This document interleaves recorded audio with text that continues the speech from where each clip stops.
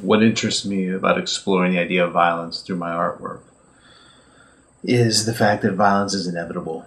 It is in our society. There's nothing we can do to escape it. And I think it reveals a lot about ourselves as individuals and as society, how we respond to that violence. What is our reaction when violence is thrust upon us, when it surrounds us?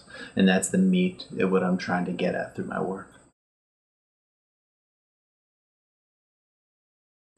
The duty of an artist is to reveal truths, both hidden and present clear truths.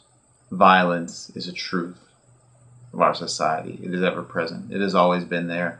It will always be there. Through analyzing the violence that's in our society, it helps us to know who we are better. And in knowing ourselves, we're then capable to change and move beyond that and to really look at what violence is and what it means to us.